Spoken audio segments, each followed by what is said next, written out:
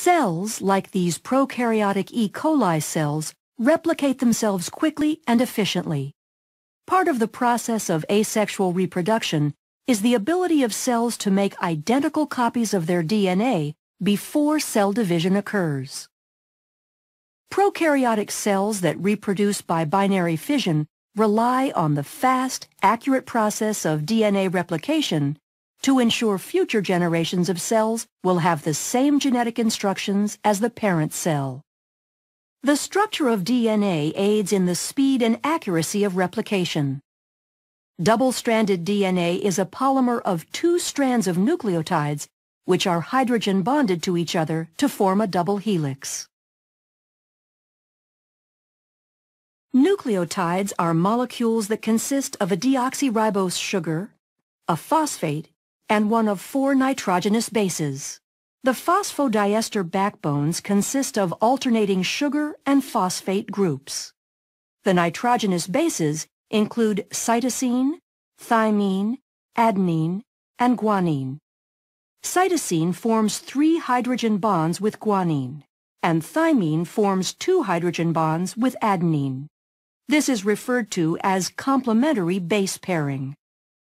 The double helix will have one strand oriented in a 5' to 3' direction relative to the hydroxyl group of the deoxyribose sugar, and the other strand oriented in a 3' to 5' direction.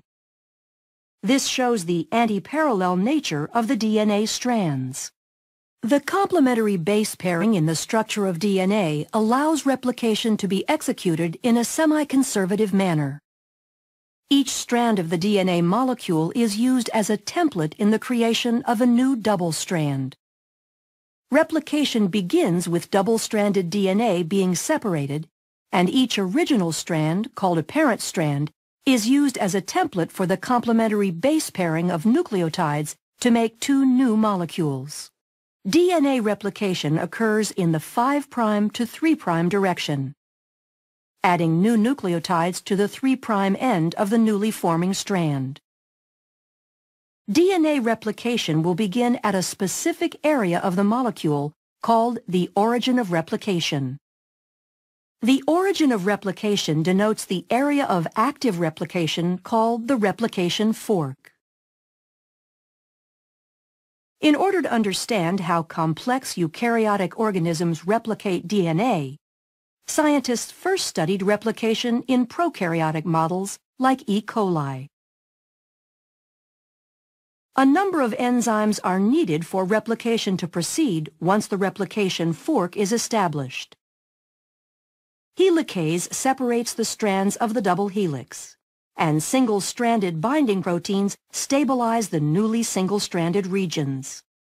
DNA gyrase is used to make sure the double-stranded areas outside of the replication fork do not supercoil.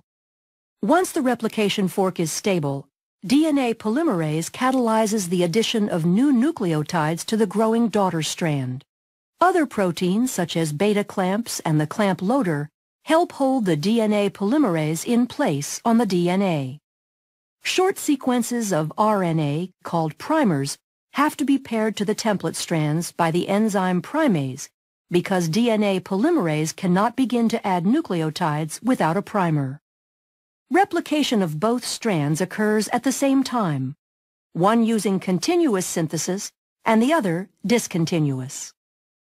Continuous synthesis occurs on the 3' to 5' oriented parent strand, referred to as the leading strand.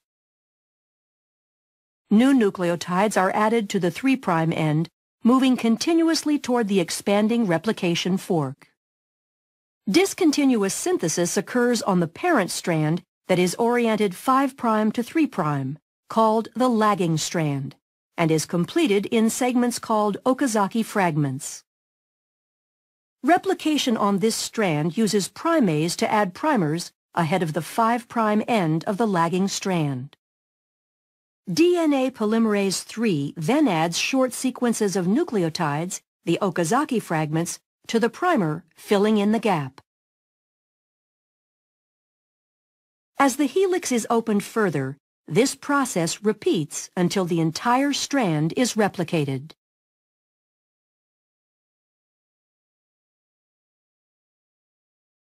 DNA polymerase I replaces the RNA primers with DNA nucleotides and DNA ligase is used to ensure bonding between the fragments and the replaced nucleotides. Once both the leading and lagging strands have completed their replication, two identical copies of the DNA molecule result. The process of DNA replication allows actively dividing bacterial cells to make sure all daughter cells have the same genetic instructions as the parent cell, allowing them to function in the same manner. Thus, bacterial populations can grow, increasing the number of individuals in a colony.